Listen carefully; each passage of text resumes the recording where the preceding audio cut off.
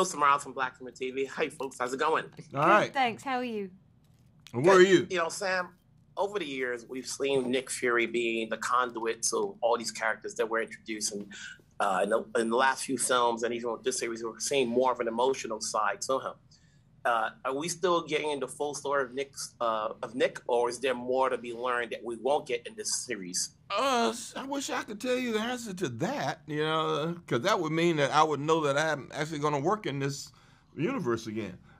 I don't know that yet, because uh, you know they're changing phases and doing all kinds of things. You know, but you know, glad to have this opportunity to tell this particular uh, Nick Fury story, or to give an iteration of Nick that we haven't seen in terms of him not being all seeing, all powerful, and having to uh, reinvent himself because he's been away for so long. But having, you know, a colorful cast of uh, characters around him that allows that to work in an interesting way for an audience. And you get to meet people that are cool, like Sonya.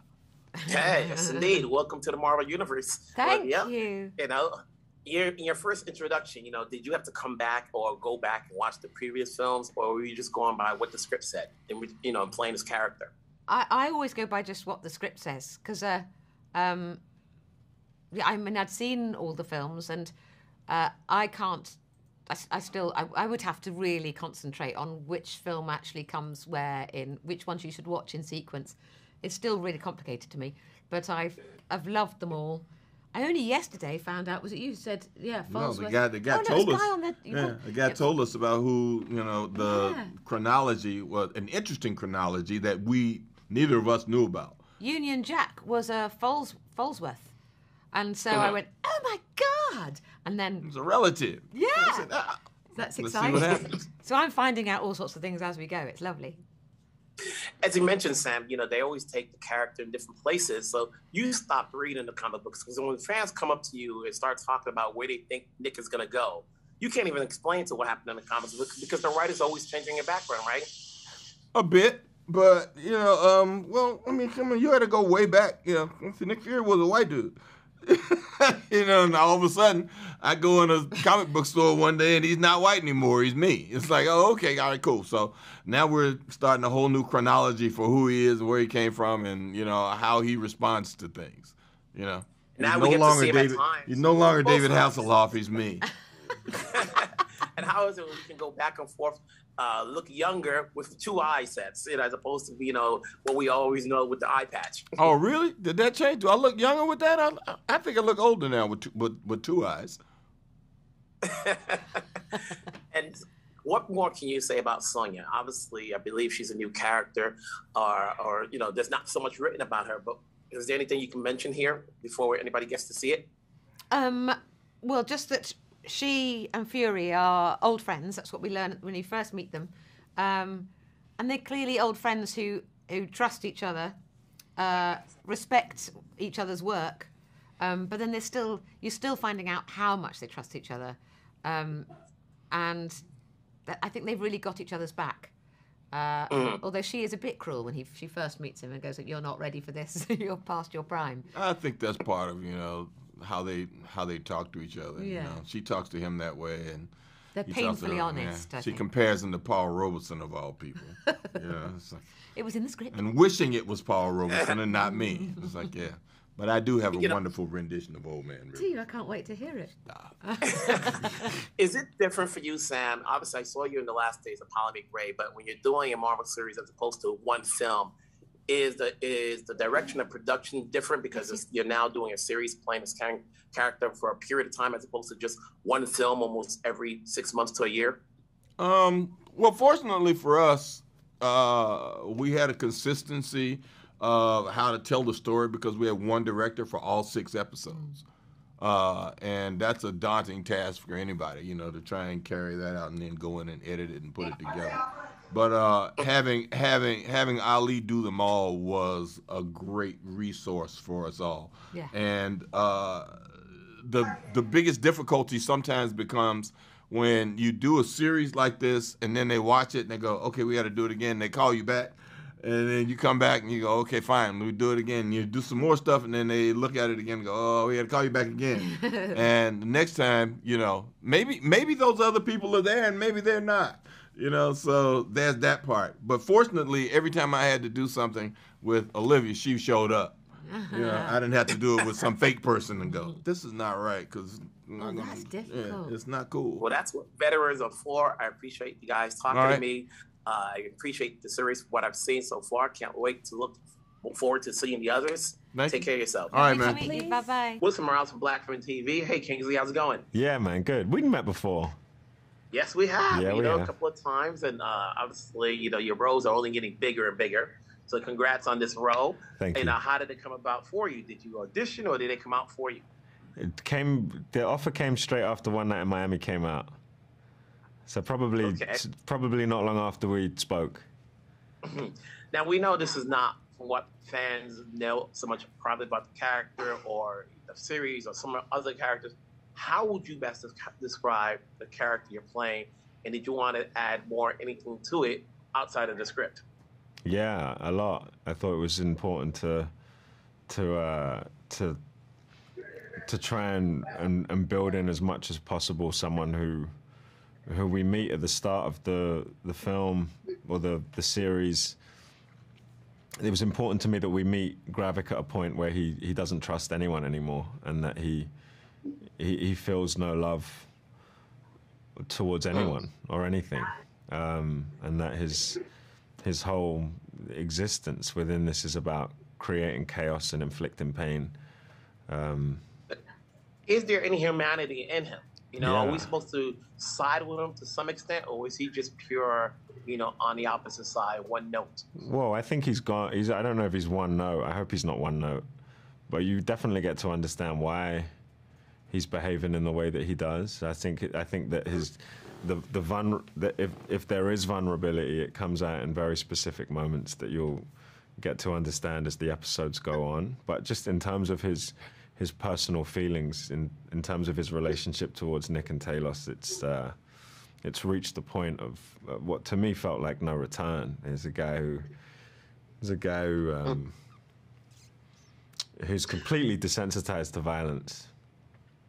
When you have Sam in here as well as Ben Mendelsohn, for you, did you watch the films as they came out, or did you have to go back and watch, you know, whether it's Captain Marvel or the previous films that Sam was wearing, that Sam was in, Yeah, I caught up with a bunch of them. Yeah, yeah, you know, so just to get a, a, a long, just to get an idea as to the sense of character you're playing, you know, and to understand Sam's, uh, uh, Nick's dynamic, you know, his his way of life. yeah. To understand the world, yeah, just to understand Marvel and the universe, and yeah, and yeah, you're right. And Nick's who Nick was, and uh, and Talos, and what they represent in the in the sh- in the in the world. And then just how was working with this cast, you know, obviously, you know, you've got folks like Olivia and Sam and Don, and you don't have scenes with everybody, but it's such a, a tremendous cast of people that's in this movie. You know, how was it like, you know, meeting some of these people? Well, meeting them was I I met some of them yesterday for the first time, um, but yeah, it was a great it was a great group of actors, and uh, yeah, really good, really good company. And then with the projects you've done so far, what goes, and you said this was offered to you, what goes to saying yes? Obviously, the lore of was it Marvel or Sam or anything else, what goes into saying yes to the projects you take? Just character and script, script then character, story then character, story and char- character and story. Sort of that. Those are the two most important things. Mhm. And at the end of the day, you know, you got uh, you got the Bob Marley film coming out. You know, what are you expecting down the road? Hopefully, What are we expecting? What? Sorry. In playing Bob Marley. What can you expect? Yeah, what are we gonna get that's not part of Wikipedia? Uh, it's a good question. Hopefully, there's some some some stuff uh, aside of Bob that we we don't, you know, that his his fans don't necessarily know, and a, a huge support from the family that brought lots of uh, like beauty and and um, Mhm. And then, as we saw in the series, obviously you have uh, the characters that you're playing has a relationship, has a you know a friendship with Emilia. How, was working with her, in establishing a friendship so that we, the, the audience, can see that there's a friendship there that may go sideways or not. I don't know if there's a friendship there. In the characters, I'm not sure that's what. Um, I don't think that's what I saw. Okay. Maybe. Well, maybe. definitely a pleasure to seeing you in this role. Sure. Obviously, you've got a lot going on for you. I'm sure we'll talk down the road. So keep it up. We're here to support. Take care. Wherever you're at, stay safe. Thank you too. Morales from Black Film and TV. Hello, Ali. How's it going? How are you, Wilson? It's nice to meet you. So when you're tasked with directing this series, you know, how much do you have to do in terms of a deep dive, and whether it be the, the previous films or comic books, in order to get some of these characters right, so, so that the fans are pleased? Um, well, it's a really good question. Uh, the first day I was hired to work on this series, the thing they told me was don't read the comic books. They have nothing to do with this series. Um, this series was created by Kyle Bradstreet, who wrote a great set of scripts that uh, are about uh, less about the MCU and more about issues of or themes of tr- mis- distrust and paranoia and suspicion. Um the the catalyst into this story is a man, not a superhero, Nick Fury, who comes down to earth and puts his boots on the ground and tries to get his footing once again, despite circumstances that have changed him or affected him. And so, my mind i i within those themes and within that character goes more to film noir than it does to the canon of the Marvel Cinematic Universe. Um, and we studied films like uh, The Third Man, uh, Conversation, the Paranoia trilogy of Klute and the Parallax View and All the President's Men. And I think no matter what you do to this series, which is intended to be darker and slightly more mature, no matter what you do, it will always live as a contribution to the Marvel Cinematic Universe because it's about Nick Fury, it's about the Skrulls, it's about things that we understand, but it takes those things that we know and love and expands on them a little bit. knowing that Marvel has a good way of continuing storylines with characters and so forth, and you know, where you working with Kyle, knowing as you just mentioned, we, we have Nick Fury, we have the Skrulls, you've got the Marvels coming out later this year, you know, so that way there's a time frame where is, you know, can this be seen afterwards, or you can't because you know there's going to be more stuff that uh, that Marvel does with some of these characters. I think it's a really good question again, and I, I, I don't want to disappoint you, but that's a question for Kevin Feige. I Okay. my job is to look in in the confines of these six episodes and to make it emotionally truthful, thrilling for audiences. Its application outside the MCU, I mean, the, into the larger MCU, is I know it's being addressed by people far above my pay grade. My job is to make sure that you feel emotional truth at the end of every scene within those six episodes. knowing that uh, Sam and Ben have worked together, um, you know, th- you walk in there knowing that they already have a rapport with these characters. You know, so is it an easy task knowing like with some of these actors, the rapport is already there, and all you have to do is say go.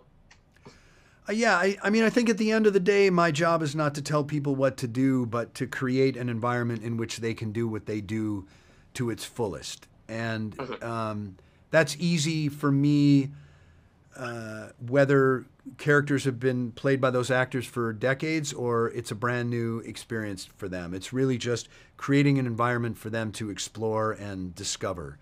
Um, I think you do have an amazing electricity between Sam and Ben because they've worked together a lot. You also have an amazing electricity between Sam and Olivia Colman because they want to work together even though they never have.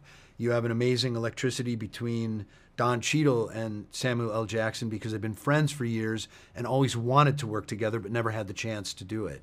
So my job was thrilling and exciting and had kind of a fanboy element to it, but also at the end of the day, my job is just to make that environment for actors to play.